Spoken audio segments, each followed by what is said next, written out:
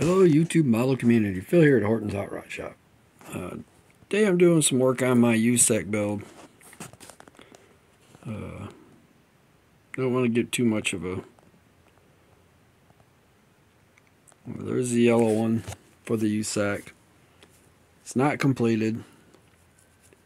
Uh, I got some more details and stuff I want to put on it. I am wiring the motor for it. Right now I'm just doing some fitment issue things. Uh,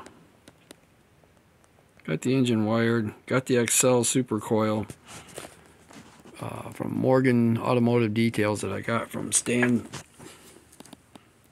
Got from Dan the Man over at 60s Rules channel. Uh, he sent me that a while back. And I'm going to use it on this. Uh, I think the distributor even came from him, if I remember right. And that's another Morgan automotive detail. Uh, there's a lot of pieces yet to go on it. Um, I'm working on the second car the, that I'm doing is the 68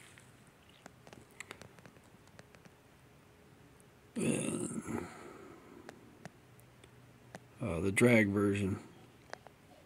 My stock version 69, somebody had swiped the in, all the engine components out of it because they wanted that 383.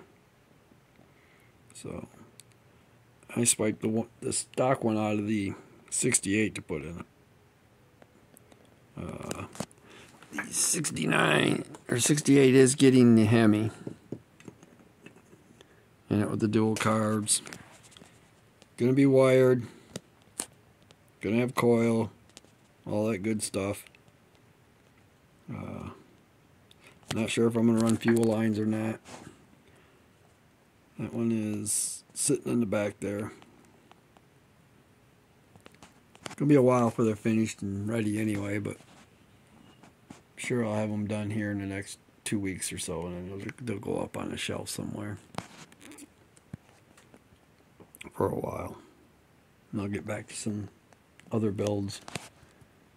Uh, I've got a 57 Chevy I've been working on. Or playing with, more or less. I ain't really working on it. Uh,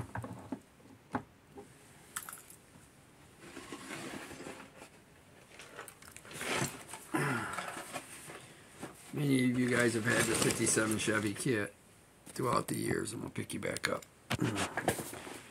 And this car's always been on the side of it. Well, I tried doing it one time when I was a kid and I used the wrong sandpaper.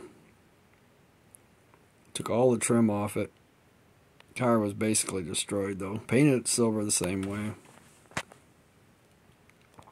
Uh, thinking I'm going to do this one silver again.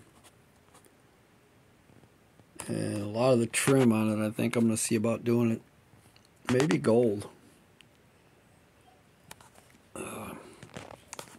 Apparently the girlfriend's home from work.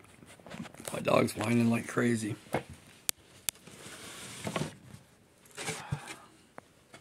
I started with one that was already started out.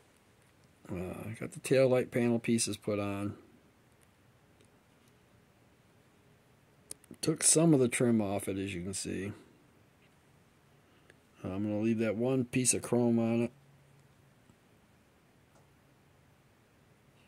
Thinking about filling in the hood hood pieces there. Uh, remove the trim off the top of the fenders, back quarter panels. That's all gone. You know, this is more what it's supposed to be. You know, everybody knows what they are. All the chrome. All the trim. This is another restoration project that I'm going to do. Uh, to get painted like a, a little bit darker red. Uh, and it may even, not sure yet, but it may even go back where I got it from once I'm done with it.